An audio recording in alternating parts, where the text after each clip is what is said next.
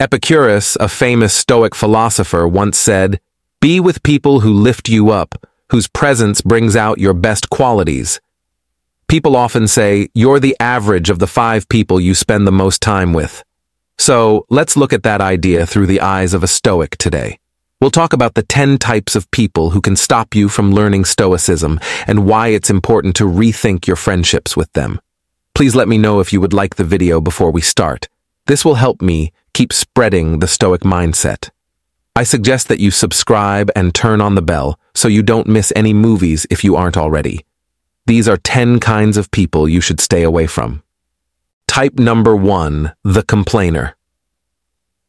There's always that one friend, family member, or neighbor who can find something wrong with everything, like the weather, their job, or even the food at a popular restaurant. They never pass up a chance to say how unhappy they are. You might be wondering why this matters to me. I can just not care about them. That's not so easy to do, though. Being around this kind of criticism on a regular basis can be hard on your mental health. It's like a tap that leaks. Your mental energy is slowly being used up. Stoicism tells us to stop dwelling on problems and instead focus on things we can do to fix them. Imagine working on a project with someone who always has something bad to say. Every meeting ends up being a long time of complaining. Without helpful conversation, the team's morale drops, and you lose focus on finding answers that can be put into action. You'll probably become less and less interested in the job and maybe even in life in general. Let us pretend you are working at your company on a big project to help you picture it, and you work with someone, let's call him Alex, who always has something bad to say. Alex always seems to bring up the bad things about the project when there is a meeting, everything from the stress of the work plan to problems with organization. At first, you might try to listen to Alex and give him support. Alex's constant negativity, on the other hand, starts to lower the mood of the whole team over time. It gets stressful and hard to work together in meetings, and everyone is tired after each work session. From the point of view of Stoic thought, you can handle this by following some rules. Start by thinking about what you can change. You can't change what Alex thinks or does, but you can change how you feel and what you think. Instead of letting Alex make things worse, focus on getting better at your job. The next challenge, thoughts of harm. Alex's bad feelings might not be true or might not be important. Try to change your mind about those ideas and see the good things about the project. Lastly, make a good atmosphere by thinking stoically and having a good mood. You have the power to change the work group and make the workplace a better place to be. Stoicism is not about changing other people. It's about how you handle and respond to the things going on around you. This helps you keep a good attitude and think about answers instead of getting caught up in other people's bad mood. How does Stoicism help us deal with someone who is always complaining? You can use a number of different methods. First, try to spend less time with this person whenever you can. If that's not possible, maybe because they're related or work with you, then your second choice is to mentally separate yourself from them while they complain. Think of their complaints as a passing storm that is loud and unsettling but only lasts for a short time and can't move the rock that is your own inner peace. The third thing you can do is bring up solutions or change the topic to something more positive.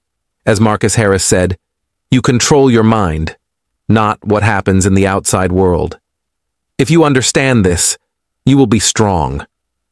Stoic wisdom tells us to protect our mental peace and make sure that the negativity of people who always complain doesn't take us off our inner road of strength and virtue. Type number two, the drama magnet. Picture yourself steering your life like a ship going through calm water. Then you come across the whirlpool known as the drama magnet. This person seems to be involved in a lot of problems and crises all the time. Like a whirlpool, they can pull you into their chaos, which can be very upsetting. At first, you might be drawn to the drama magnet's energy, thinking it was passion or excitement. You'll quickly learn, though, that being in their area is like steering a ship through a storm, very tiring and dangerous. Dealing with drama from people who are in the way is hard because pressing situations often make you feel like they're your own. Their chaos can spread and you might get involved in fights you weren't supposed to be a part of at first. Take a look at an example. One of your friends often has disagreements with other people in your group. Suppose you have a friend in the group named Sarah. Sarah recently got into a heated argument with someone in the group about something. The argument between Sarah and a few other people in the group turned into a major fight. The other people in the group didn't seem to agree with Sarah, which made her look very angry and unhappy. She complains and attacks the other people in the group a lot, and she seems very upset about it. It's now getting hard for you to stay in this group because you feel pressure and stress. Sarah brings up these problems a lot, and it doesn't look like she'll stop. They stay at the top of talks and group meetings. You've talked to Sarah, tried to settle disagreements, and given her advice, but nothing has worked to solve the problem. And you haven't been able to change Sarah's mind or make things less tense. You can follow Stoic principles and stay away from Sarah's bad feelings by using a method called thoughtful listening. Instead of trying to convince Sarah or getting involved in the fight, you can think about what she says without passing judgment. For instance, if Sarah complains that other people don't agree with her, you could say that their difference makes you angry, right, in this way. You stay out of the fight and don't make things worse. But you still show Sarah that you understand and care about how she feels.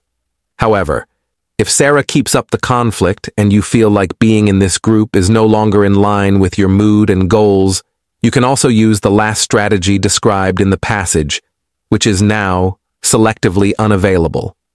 You might need to temporarily separate yourself from the group or look for things and people that are more in line with your mood. Stoicism tells us to value our time very highly, and that can mean not being available for other people's problems, especially if they keep happening without getting better. During certain times, turn off your phone, establish times when you will only work on your project or improve yourself, and let people know that they should not bother you during these times. To borrow a phrase from Seneca, to be truly happy is to enjoy the moment without worrying about what will happen in the future. This can be especially helpful when working with people who like to cause trouble. Instead of worrying about what crisis will happen next, focus on the here and now, where you have power. Have fun with your life, and don't let someone else's problems upset you. Be sure to sail your ship quietly and stay away from whirlpools. That could get in the way of your journey to peace and personal growth. Type number three, the unfavorable person. Think about this. That's you, an artist, creating a picture. Every stroke of the brush gives your picture more color, depth, and life. Here comes the doubter. They come into your office, take a quick look at your work, and then start criticizing it right away. Are you sure that color is right? That doesn't seem possible. It's funny, but most artists never finish their work. Their words are just rough lines of gray paint. Start to make your bright surface dull. This isn't the usual kind of helpful feedback. Instead, it's an air of uncertainty and negativity that won't go away. Take the example of being excited about starting a new job. When you tell other people how excited you are, you've done your homework, talked to experts, and maybe even taken some beginning classes. They quickly make a list of all the reasons why it might not work. Too many people are in the market. Do you have the right skills? What if you fail so quickly that your worries become your own and your once strong vision starts to waver? But don't let the mean words beat you or make you doubt yourself. Do not accept doubt and agree with those who have it. Instead, try a different method. Think about things like, why is the market so competitive? If I have trouble, can I get better at this task so I can face it? Should I learn from my mistakes and fail to get better? So instead of just focused on the bad things, you can get them to think about finding solutions and ways to get through tough situations. The important thing is to keep believing in your own skills and not let other people's questions make you less determined to reach your goals. How do you deal with someone who doesn't believe in you, especially if they're close to you? Asking them for help instead of just telling them about your plans or goals is an unusual but effective way to get what you want. When someone is an advisor, they are less likely to say bad things about your ideas and may give you more useful comments. Using a practice called positive confrontation to change the script is another way to do it. Instead of taking in their bad vibes, ask them to come up with ideas. Counter with an interesting point of view if they say you can't change jobs at this point. What do you think are the best ways for someone to change careers? Not only does this deflect the negative, but it also leads to a more positive talk. In your mind, remember what the Stoic teacher Epictetus said. We can listen twice as much as we talk because we have two ears and one mouth. Listening doesn't mean taking in everyone's bad mood. Figuring out what is useful information and what is just noise. When people who don't believe in you start to paint a picture of doubt over your work, back up a bit. Type number four, the toxic positivist. You know the person who always sends out rainbows, sunshine, and a never-ending stream of emojis. They are the ones telling you to be happy when things are bad ignoring your thoughts and feelings with a careless wave of shiny positivity. Think of your life as a garden. There are flowers, but there are also weeds and bugs. A poisonous positivist, on the other hand, won't see anything that isn't a rose in bloom. You have bugs on your leaves. They would tell me to just look at the flowers. Even though it sounds positive, the way they do things can make you feel rejected and cut off from reality. Let's say you're having a hard time with a breakup. You're sad, confused, and trying to find mental balance. Going through a breakup can be one of the hardest things that can happen to you. During these times, you may feel hurt, lost, and even heartbroken after the breakup. It can be very annoying and unreasonable to follow the advice of a toxic positivist. There are lots of fish in a big sea, feel good and smile. In a larger sense, this statement may make sense and be true, but it doesn't take into account the pain and problems you're going through right now. After a breakup, you might feel like you've lost a part of yourself, and telling yourself to smile and live happily isn't always helpful. This kind of over-the-top positivity doesn't take into account how complicated feelings are and how real life is. Not every day is a happy one, and we have to deal with sad, angry, or let down feelings like loss and disappointment. These things happen naturally and can't be stopped in life and self-condemnation, because having these feelings makes the pain worse. We don't have to hide our bad feelings and only think about the good ones. Instead, we can learn to face them, accept them, and think about how they can help us learn and grow. The important thing is to keep the good and the bad in balance, to have a more fair and realistic view of life. How can you take care of your yard without letting the harmful positivists walk all over it with their random positive vibes? The only way to deal with them is to have a conversation that includes both light and dark. If they say, look on the bright side, at least you're healthy, you could say, yes, I'm thankful for my health. However, it's also fine for me to be upset about this problem. Both can live together. You can also use something psychologists call emotional granularity, which means being able to feel and tell the difference between a lot of different feelings, both good and bad. When the toxic optimist tells you to just be happy, name and recognize the different ways you feel. I'm feeling a little down today for some reason, and that's fine. As an affirmation of Stoic thought, Seneca once said, True happiness is to know our duties toward God and man so that we can enjoy the present without worrying about the future. Look at the balance. Knowing that you have responsibilities that aren't always fun and savoring the present moment. Focusing only on the good or the bad isn't part of a reserved attitude. It's about being calmly accepting of how complicated life is. Just remember to step back the next time a toxic positivist throws confetti on your well-kept yard. Remember that a plant needs both sun and rain to grow, and let all of your feelings flow through you. Keep giving your garden the care it needs to become as rich and complicated as it can be. Type number five, the victim. Life could be thought of as a game of chess, where everyone has the same pieces and the goal is to checkmate the other player's king. You plan your moves, give up things you want, and sometimes take risks. The target, on the other hand, blames the chessboard, the pieces, or even the other player for every mistake they make. They think they are always in checkmate, but it's not their choice. Something outside of them is working against them.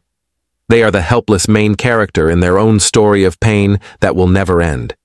This comparison helps us see how each of us deals with problems and makes choices in this game.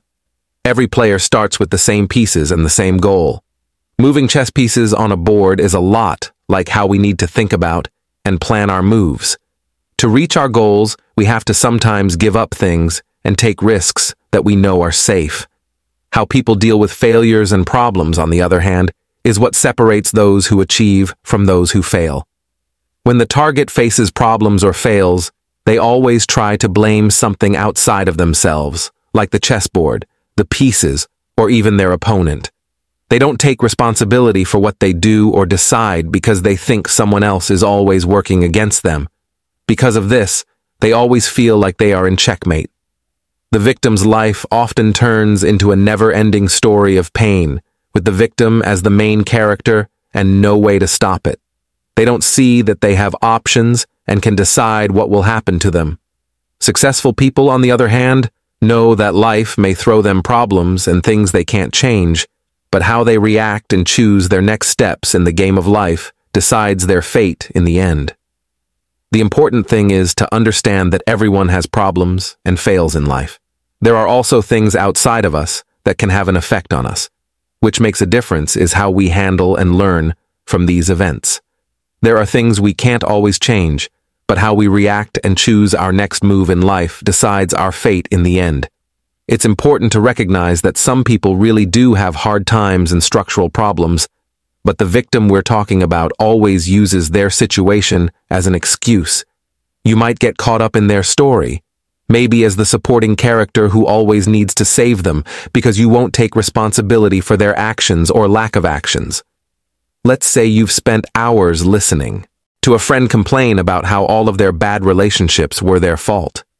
This not only takes up your time, but it may also gently make you feel like a victim in your own life. What should you do when you come across a victim, especially if they are someone close to you? One unusual but successful way is to ask them open-ended questions that make them think about what's going on. Instead of giving them answers or fixing all of their problems, ask them things like, what do you think you could do differently in this situation? Or, how do you plan to take charge of this part of your life? You could also be understanding and kind, but don't try to save them from problems they need to solve on their own. Be there for them and listen, but don't take on all of their problems. In your mind, remember what the Stoic scholar Epicurus said. Being different from the person who did you wrong is the best way to get back at them. You should fight the urge to become the victim if you find yourself getting caught up in their story. In the chess game of life, being stuck in checkmate all the time is often a choice, not a fate. Move the pieces and take charge of your own board. Move your pieces forward. Give up things strategically when you have to, and don't play for revenge or sympathy. Play for growth and knowledge. Type number six, the time vampire. Think of your daily life as a well-balanced symphony. Each instrument stands for a responsibility or job, and when they are all played together, they make a perfect balance. Then the time vampire joins in, screaming off key, drowning out the tune, and stopping the flow of the music that is your life. There are people called time vampires who always want your time and attention without giving you much in return. You might have a friend who always calls you to have long, boring chats that keep you tired and behind schedule, or a coworker who always calls you to talk about unimportant things, which makes you miss deadlines. Time. Vampires do more than just take your time. They make it hard to concentrate, get work done, and relax in order to deal with time vampires. It's important to be clear about your limits and availability.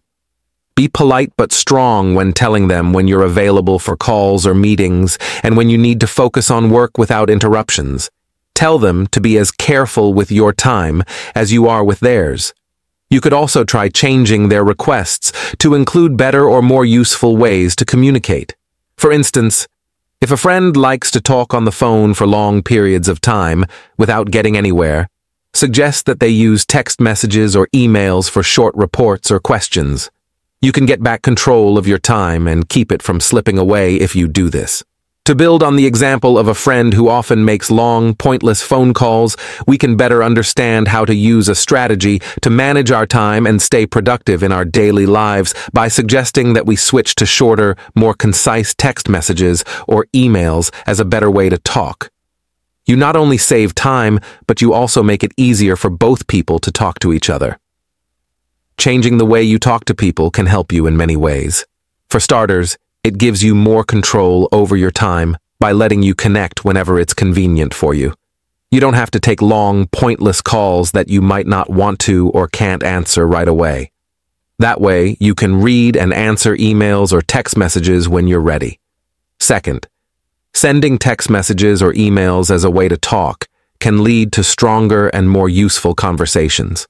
You can organize your thoughts into short, clear messages that make it easier for the other person to understand and reply quickly. This makes it easier to share information and wastes less time than having long, boring talks. On top of that, using this method of contact can make it easier to talk about and solve certain problems. You can focus on the most important questions and requests, and the other person can give you accurate answers without having to have long conversations. This helps both people make the most of their time and makes sure that jobs are done faster.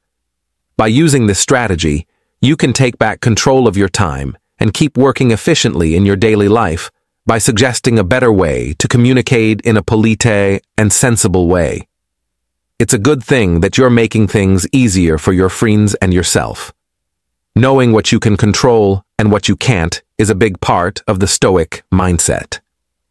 Time vampires will often try to take over your time and attention, but you can regain control by setting limits and planning how you spend your time. In your mind, remember what the Stoic philosopher Seneca said. We don't lack time, we just lose a lot of it. It's important for your personal and Stoic growth to hang out with people who make you feel good and share your values. Type number seven, the manipulator.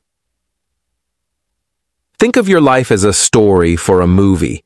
You are the main character, and you know how the story should go, including where the turns should be and who your friends and guides should be. You also know what your final act should look like. Here comes the manipulator.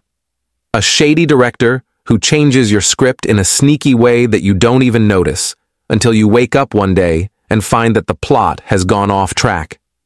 The trickster knows how to use emotions or thoughts to get what they want. They could charm you, make you feel bad, or even lie to you to get you to do what they want. If someone always gets you to pay for dinner, they might say something like, You know, I've been having a rough month and you're so successful. You wouldn't notice, but it would make my day better in the long run. It turns out that someone took advantage of your kindness. It's hard to call them out, though, because they said it was a favor for a friend in need. It can be hard to deal with a liar.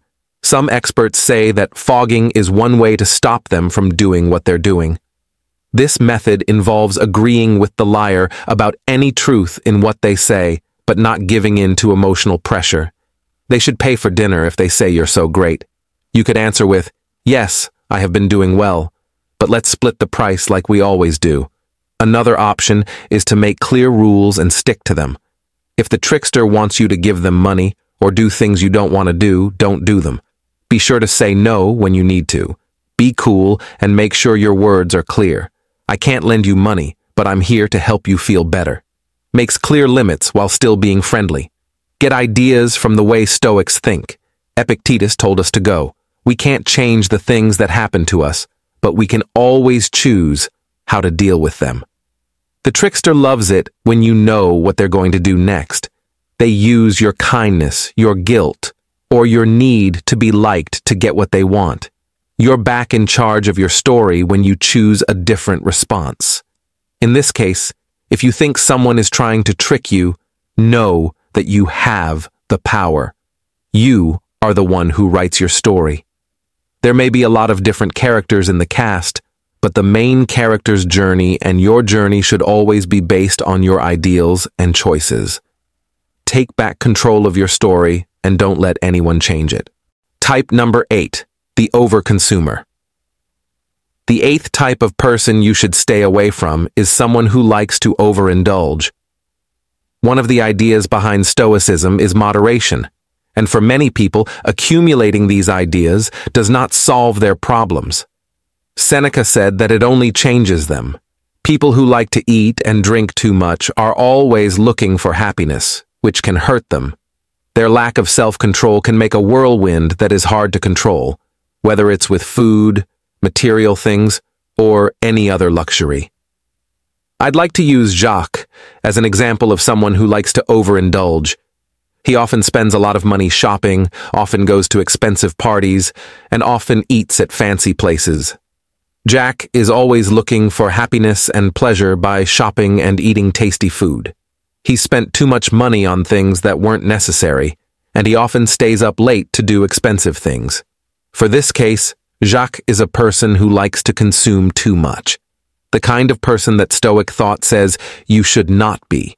Having a lot of things and using them all the time gives him pleasure and happiness, usually things or events that are too expensive. He can't control himself when it comes to his money, time, and energy because of this.